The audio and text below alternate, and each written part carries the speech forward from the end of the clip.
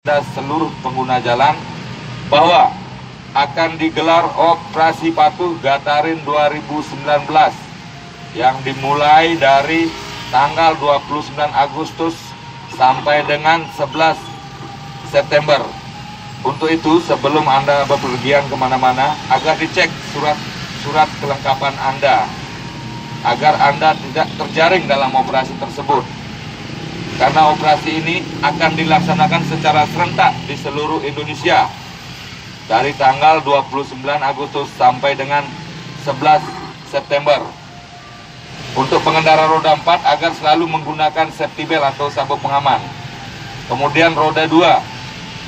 Roda 2 agar selalu menggunakan helm standar nasional baik pengendara maupun penumpangnya. Atas perhatiannya kami ucapkan terima kasih. Assalamualaikum warahmatullahi wabarakatuh. Salam sejahtera untuk kita semua. Om Santi Santi Santi.